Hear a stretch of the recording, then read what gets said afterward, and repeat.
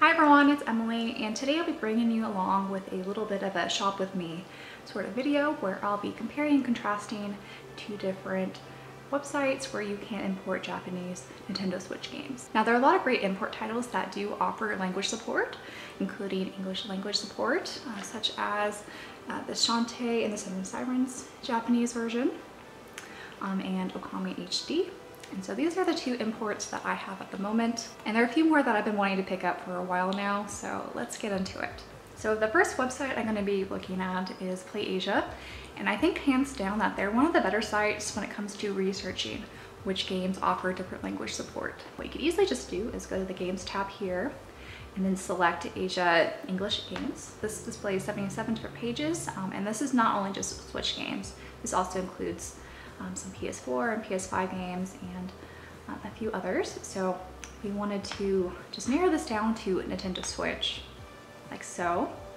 Um, you'll see that there are 17 different pages of English supported uh, Nintendo Switch imports. One of the strengths that PlayAsia has is that they do offer these Asia English releases that other websites like Amazon Japan and some others do not offer, or they're much more expensive than what PlayAsia is offering them for. But for our purposes today, I'm going to just limit this to Japanese versions. All right, so there are a lot of great options and the prices are pretty good for imports. Other nice thing about PlayAsia is that they do offer free shipping if you buy over $99 worth of merchandise. There are some, I think, weight and size restrictions. So if you're buying, for example, a huge scale figure, um, that's not gonna qualify for free shipping, unfortunately. Um, it's gonna be just these small things, unlike video games. So from this list, there are a lot of great options here.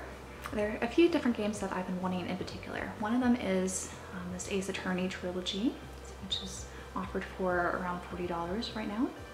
And I've also been looking at a few visual novels that um, I think are further in. But um, do be careful with some of the prices here. Some are more expensive than they really should be. For example, Xenoblade Chronicles 2, Torna of the Golden Country.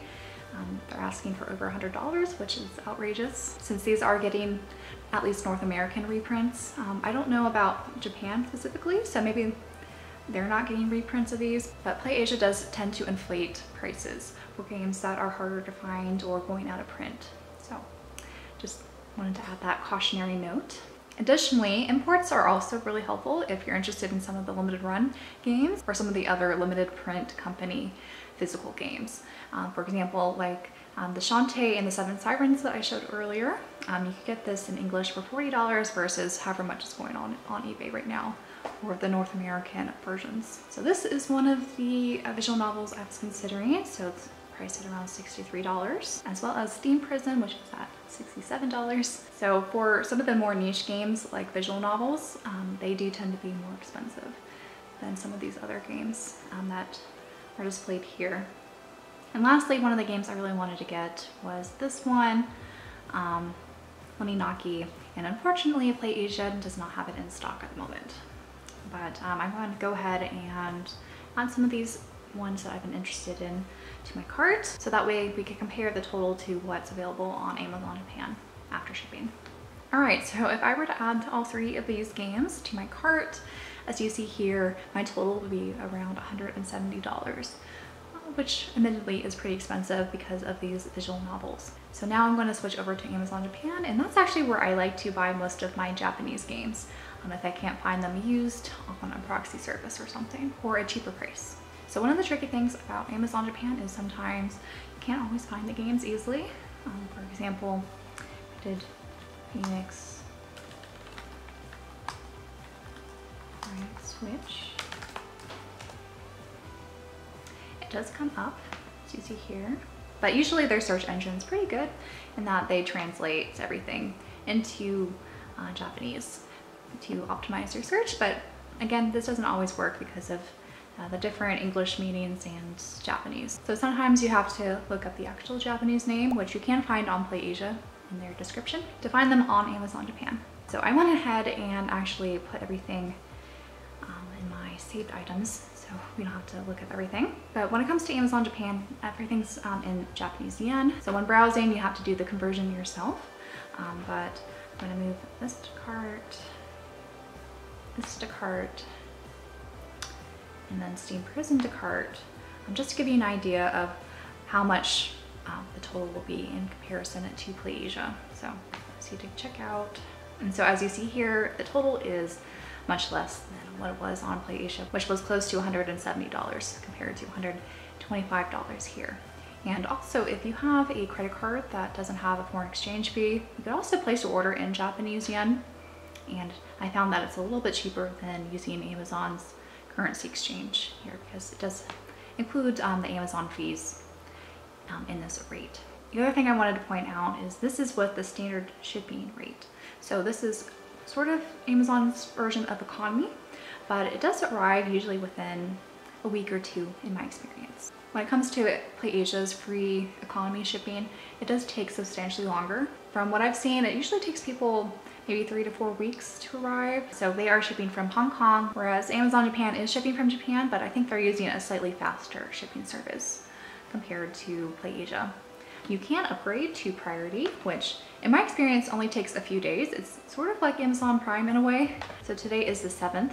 So they're estimating that will arrive between September 12th and 13th. And again, this is actually in Japanese time. So my experience, it does usually arrive a day earlier here in the US because of the time zone difference. And even though this is a little bit more expensive, um, I do tend to go with priority shipping because it's only like $3 more here. So I guess to summarize, I think Amazon Japan is great when it comes to ordering multiple Japanese import games at a time. And when it comes to shipping rate, it actually isn't that much more expensive when adding multiple games. So I'm gonna add um, this game and we'll compare how much it is in shipping. So here you see the shipping did not increase much. It only increased by like 100 yen and um, you go to priority shipping, again, it's only a few dollars more. So in my opinion, I think Amazon Japan is really the way to go if you're wanting to order multiple games at a single time. However, if you're also interested in some of the Asian releases that um, are really only available on PlayAsia, um, you could also find them on eBay and um, Amazon US, but they tend to be a bit more expensive compared to ordering them directly on PlayAsia. So if you wanted to sort of mix your order of Japanese imports and Asian English imports, PlayAsia is probably the way to go. And for those who don't live in the US, um, I think Amazon Japan also offers um, an estimate for customs fees that you pay upfront. Um, I don't know if this differs by country, but that's what I've heard from other YouTubers who also shop on Amazon Japan for various things. And lastly, when it comes to buying on both these websites, they do offer other merchandise um, that are not game related that you could also add to your cart.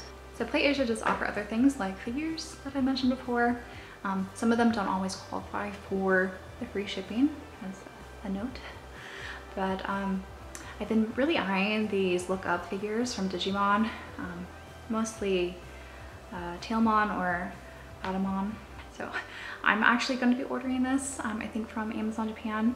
Um, it was offered on PlayAsia at one point.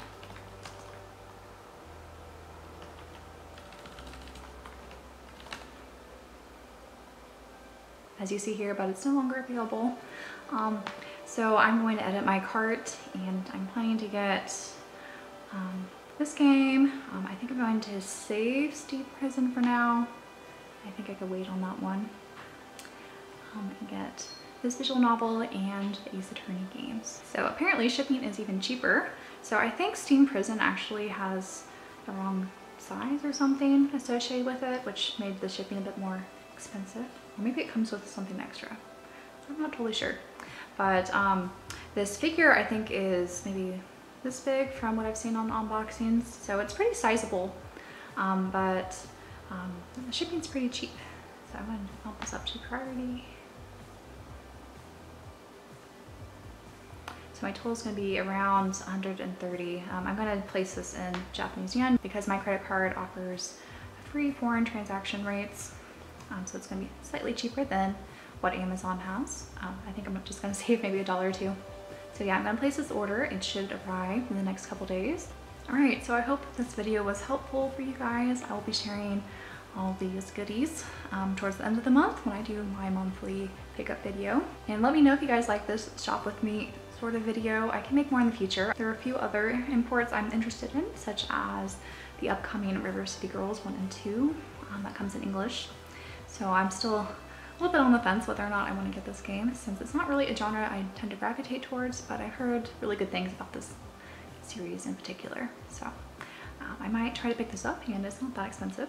You may have noticed a few other things that I have saved on my Amazon account. There are some art books like the Xenoblade Chronicles 2 one, Atelier Ryza 2, uh, Fire Emblem, Fates. Um, I was debating whether or not to get the tea set. Um, like I sort of missed out. It might be still available on AmiAmi, but it was really hard for me to justify paying over $100 for tea and one teacup. So that's why I didn't pre-order this.